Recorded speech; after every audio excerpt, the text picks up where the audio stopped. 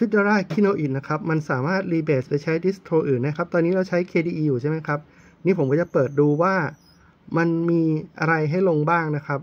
ก็จะเห็นว่ามี Silverblue แล้วก็อะไรอื่นๆเยอะแยะเลยนะครับ อันนี้ผมก็จะสั่งรีเบสเป็น Silver Blue ดูนะครับ อันนี้ก็จะตัดต่อนิดนึงนะ มันจะได้เร็วหน่อยนะครับไม่ต้องมารอกันนานๆนะครับ อะ rebase เสร็จแล้วก็สั่ง rebootอันนี้ก็จะรีบูตกันแล้ว อันนี้ก็จะตัดต่ออีกแล้วนะ เพราะว่า ขี้เกียจรอนานนะฮะ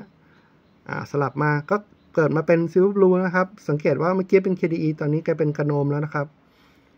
อันนี้ผมว่าก็จะเป็นสิ่งที่ดิสโทรในตระกูลอื่น ๆนะครับ อาจจะทำอย่างนี้ยากหรือว่าทำไม่ได้นะครับ สวัสดีครับ